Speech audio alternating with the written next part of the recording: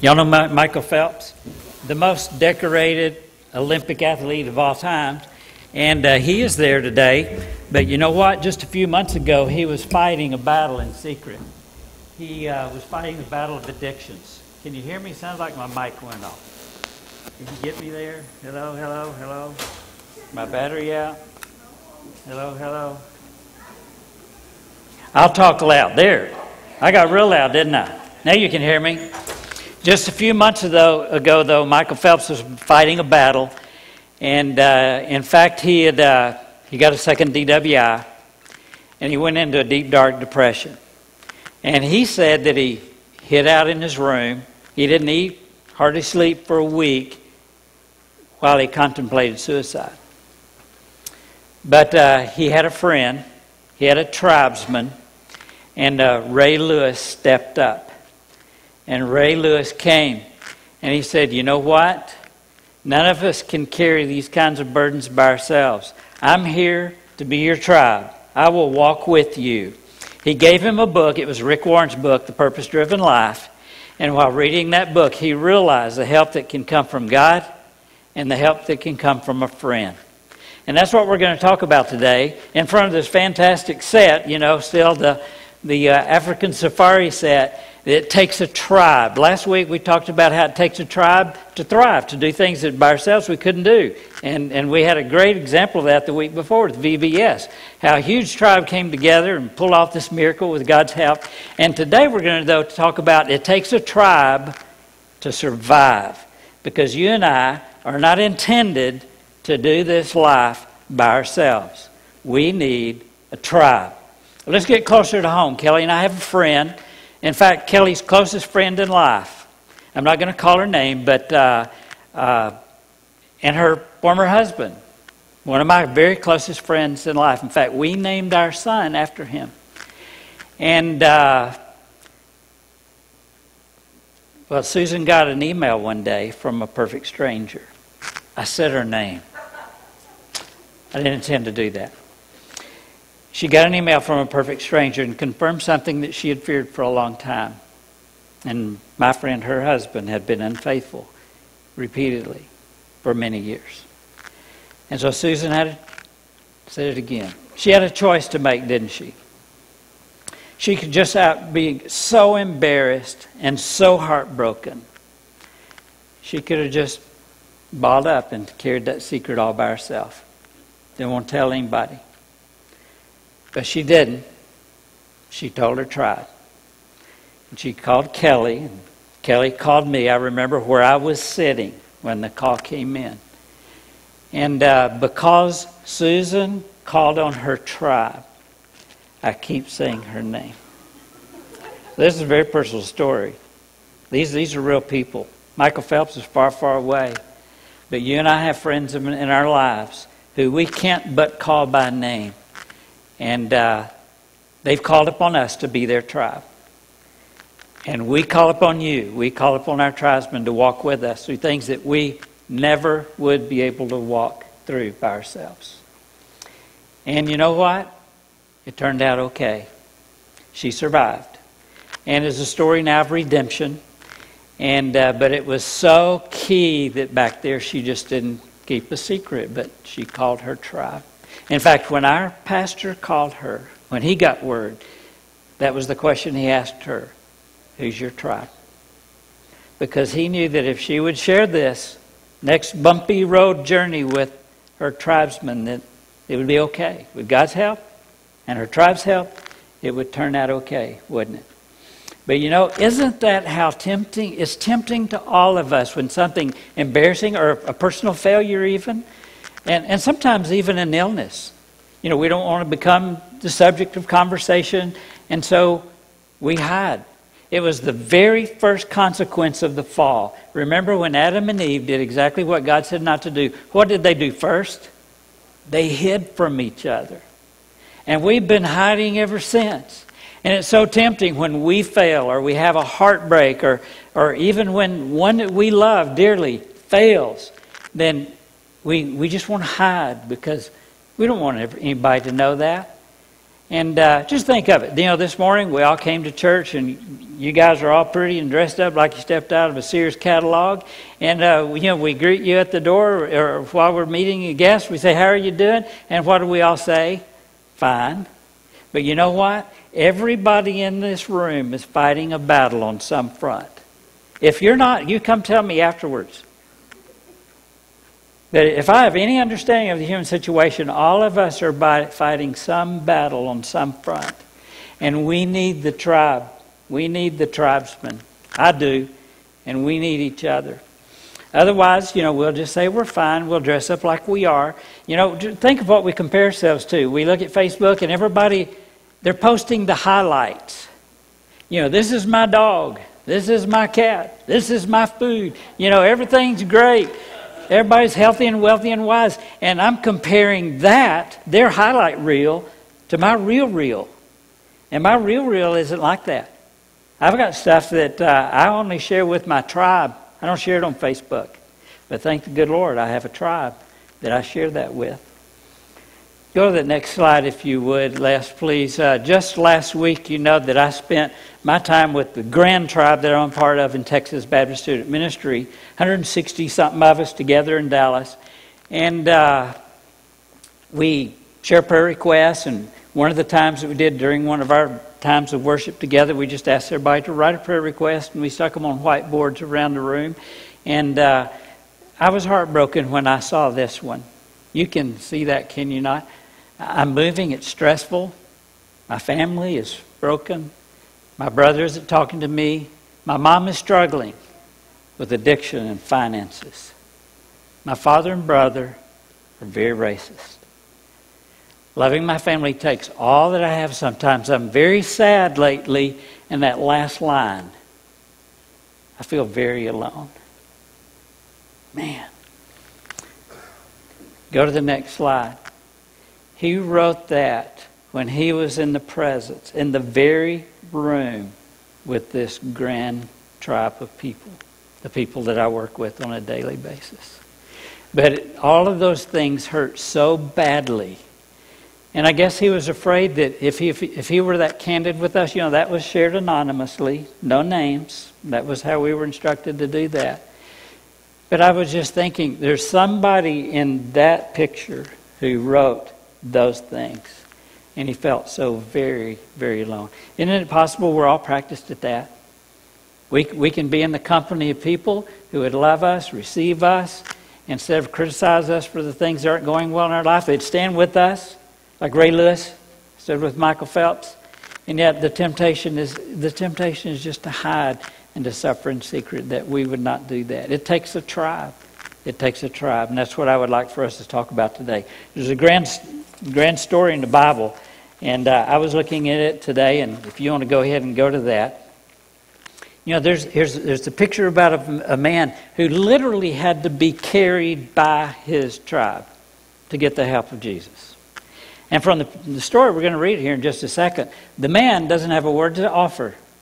No word that he ever spoke is recorded in this story. It's a story about a man for whom, if it were not for his tribe, would have suffered in secret.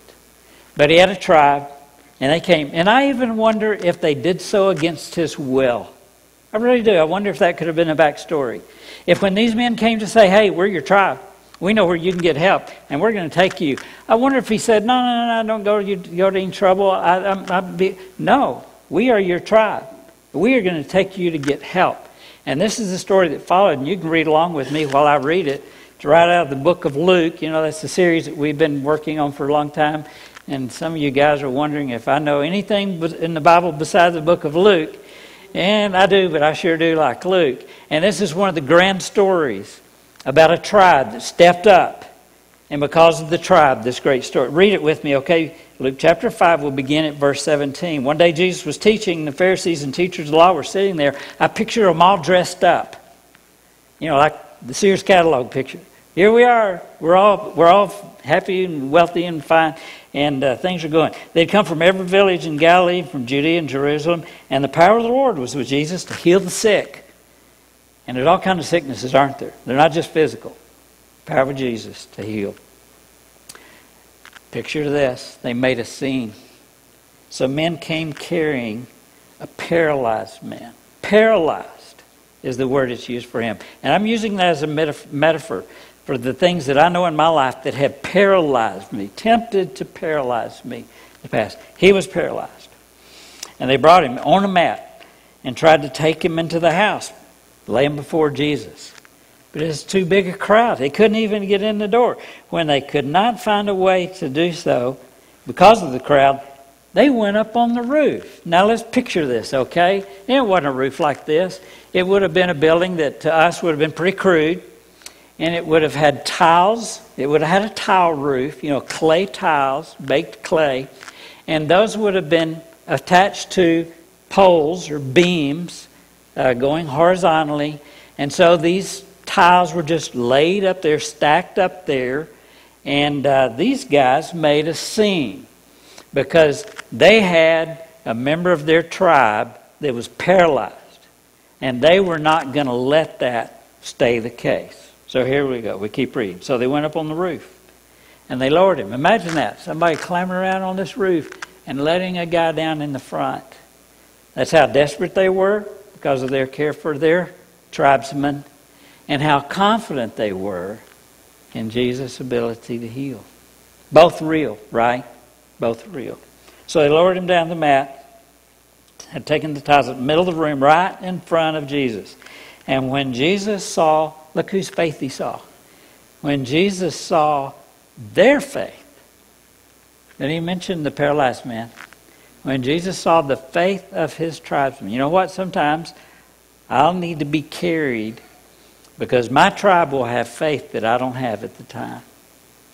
And it was their faith, his tribe's faith, that Jesus saw, and he said this. Now, let's see, wait a minute. The guy's paralyzed. What's Jesus talking about? Your sins are forgiven. What, why, what, does Jesus not know what's going on here? Did he miss something? This guy's paralyzed. It doesn't have anything to do with sin, or does it?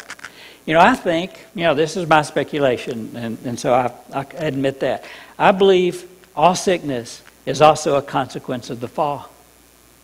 And, you know, some of the sickness that we experience is because we live in a fallen world. There are corporate, con- corporate consequences to this fall. We all suffer because of the fall. But sometimes, sometimes I have, I'm suffering because of my own sins.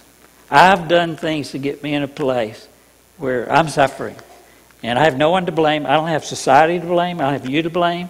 I have me to take responsibility.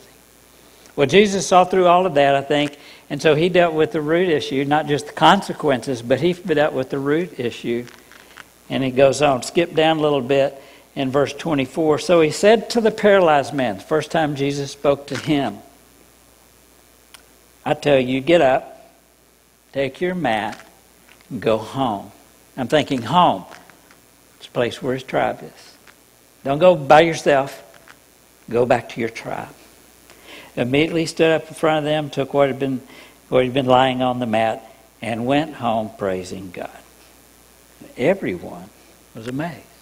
You know, isn't that what happens sometimes when when I got to work on my other home church staff, First Baptist in San Antonio, Got to lead the single adults ministry there. Everything, everybody from college to deceased. We had all ages of single adults. And we went through a series of, uh, instead of on Sunday mornings, you know, at the beginning of our Sunday school time, instead of some, someone standing up and sharing their victory story, we had people stand up and share their suffering stories. And for week in and week out, those courageous, brave, tribesmen would stand in front of that group and say, You know what? I have this battle that I'm fighting. And battle's not over yet. I'm still right in the thick of things. I'm still in the middle of it. But I'm counting on God, and I'm counting on you to walk with me through this battle. And you know the effect that it had on the people? You could just almost feel the relief uh, in the room. Everybody was going, I'm not the only one. Because somebody had the courage to share their battle. Battle that wasn't won yet. I'm not the only one. I don't have to pose as if everything's okay because it's not. And week in and week out, they shared their stories. And it was incredible what that group became. It became the kind of place where people could come and be honest. They could come and be candid. And they would walk with each other. Man, it became a tribe. It was a great thing to see. Well, that's what happened this day because of a man's tribe. Then he got the help that he really needed.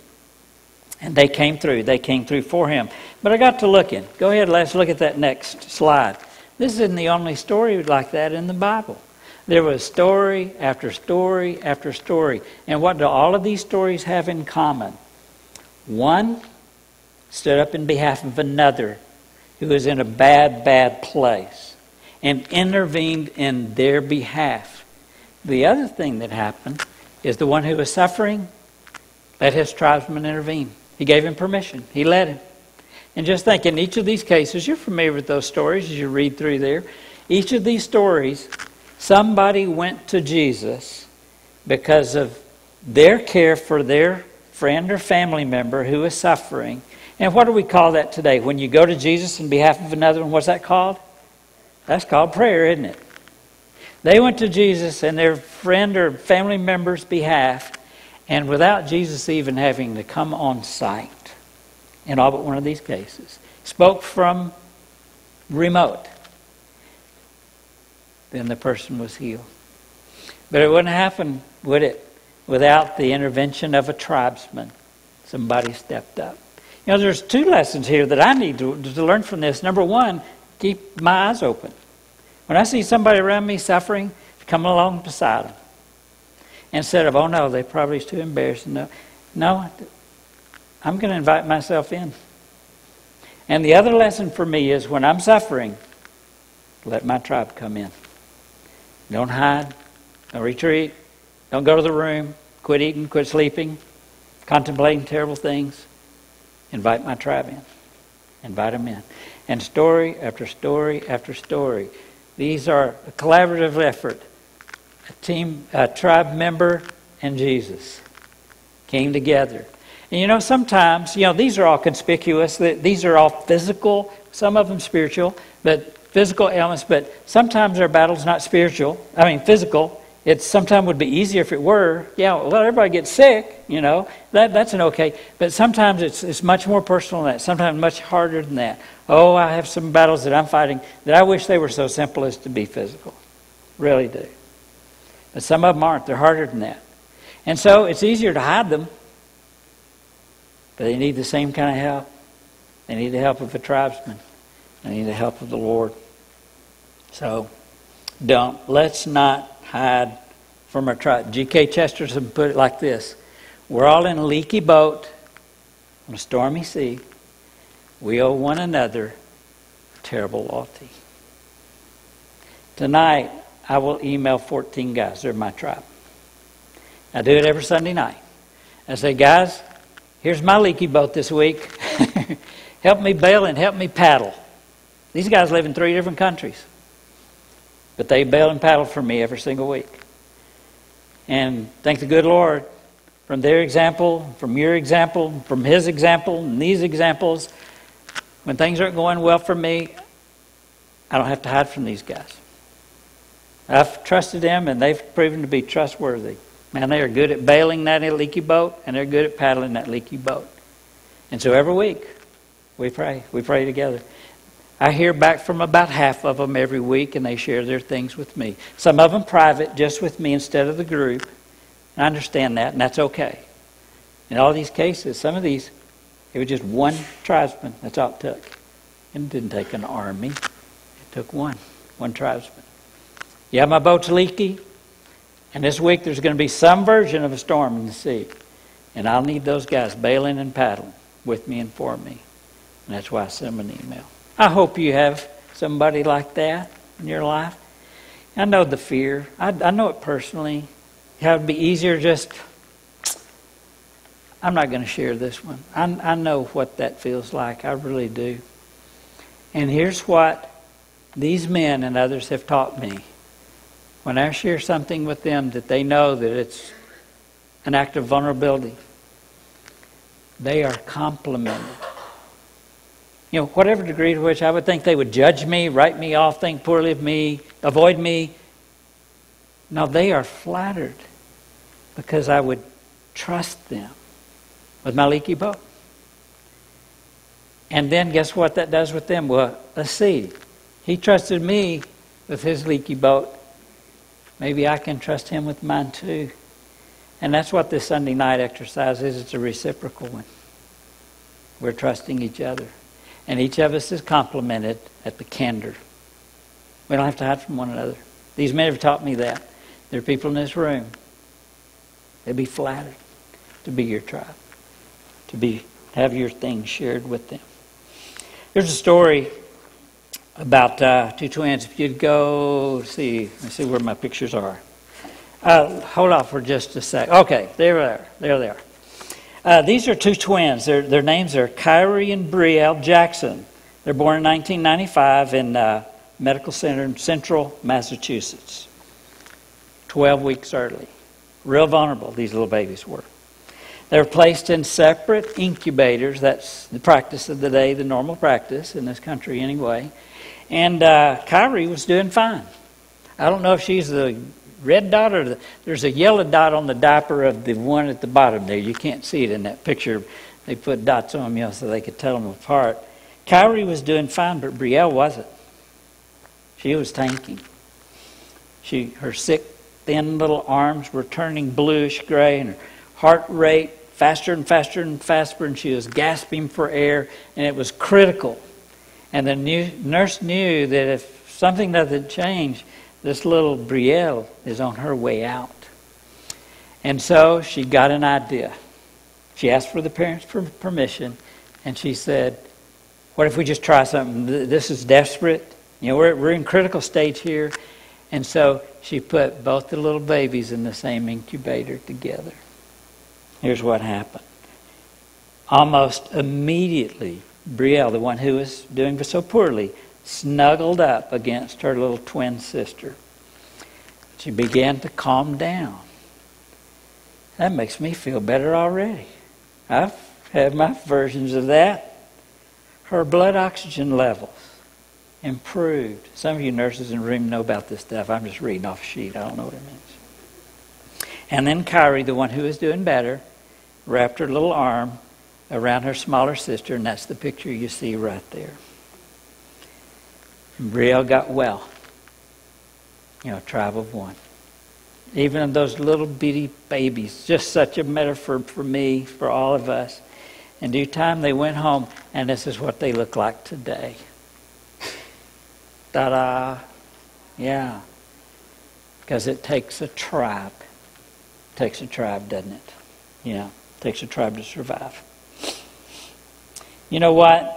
Um, one of the things that I've that I enjoy about you guys is how you tribe me. You know, this week Monday, Kelly's dad passed away, and so many of you have come up and to be my tribesmen. You know, we're praying for you guys, praying for Kelly, and hope it's going well. And you know what? It's going well. We, we are surrounded by such a grand tribe. And we know that it's because of your help our tribe's help, and because of the Lord's help, it's, it's well. It's well. There was such a picture of tribe in the last days of Dan's life. Yes, his name is Dan, and we have for several decades now called his family, Kelly's family, the tribe of Dan. We literally have called them a tribe. Dan and Judy had six kids. All those kids are married.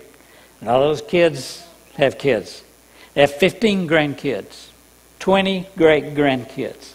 And a bunch of those grandkids, and all the kids are married. And so we've got a huge tribe, Tribe of Dan. They were in our house at Christmas time, 50 something people, big tribe. And so, you know, Dan's had cancer for some while now, and it really progressed the last few months. But the last two weeks were really, really the tough weeks.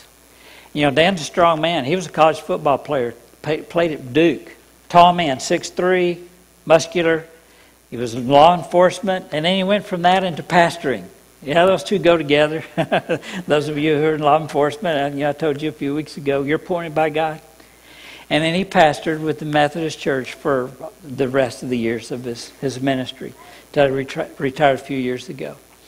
But Dan was this big, strong football player, law enforcement preacher.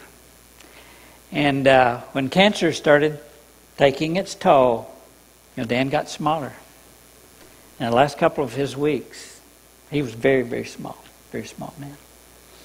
But here's what happened in that room as the tribe came together. Kelly's brothers and sisters, and their husbands and wives, and then the grandkids. Some of them were able to come, but the those who couldn't, they all sent emails to Dan. His tribe stood up, stood in for him, and Judy would read those emails. And Dan's mind was clear until just the last 24 hours or so. And so, Dan, we watched it with our eyes. We saw the benefit of this tribe coming together. And not only were they a blessing to Dan, they were a blessing to one another. And I mean, they were taking turns and doing shifts and caring for him. And, and uh, it was a wonderful picture of tribe. So when Dan left, he left in good hands. And he knew this man who had been so self sufficient all his life, the hardest thing for Dan to do, we all watched it with our own eyes, was to let his tribe carry him. Because he had been used to taking care of business all his life. Handing over the paying of the bills to Kelly a few weeks ago, giving it over. Then needing to be cared for cleaned up, carried, just like the guy on the mat. And little by little, Dan began to experience what it means to be cared for by the tribe of Dan. Yeah. So it was when I tell you, when you tell me, hey, we're praying for your family, all is well. All is well. Because we're part of a tribe. They all pitched in together and that was a storm. That was the stormy sea last week. We were all in this leaky boat, paddling and bailing. But it is well. It is well. So, whatever your storm is, hope you have a tribesman that you can trust it with. And if you haven't tried that yet, you can try us today. We promise you that we will walk you with you because we know our storms too and we would be honored to share this storm with you.